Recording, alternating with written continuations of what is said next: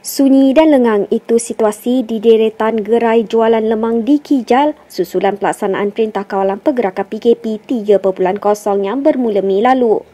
Sebelum ini, kawasan berkenaan sentiasa menjadi tumpuan ramai terutama buat penggemar hidangan berasaskan pulut yang menggunakan laluan berkenaan tanpa mengira musim.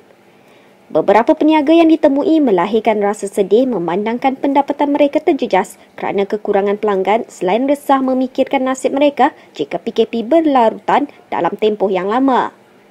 Peniaga Zabidah Ismail 51 tahun berkata dia menyediakan kira-kira 30 kg pulut setiap hari sebelum pandemik COVID-19 melanda negara yang membawa kepada pelaksanaan PKP namun kini hanya mampu menyediakan sebanyak 15 kg setiap hari kerana kekurangan pelanggan selain masa operasi yang terhad.